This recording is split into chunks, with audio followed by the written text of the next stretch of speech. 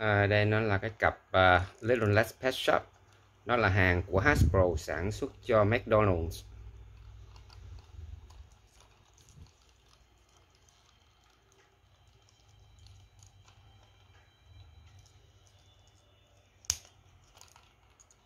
Cái phần nắp và nó dính nguyên khối nha không có tháo ra được.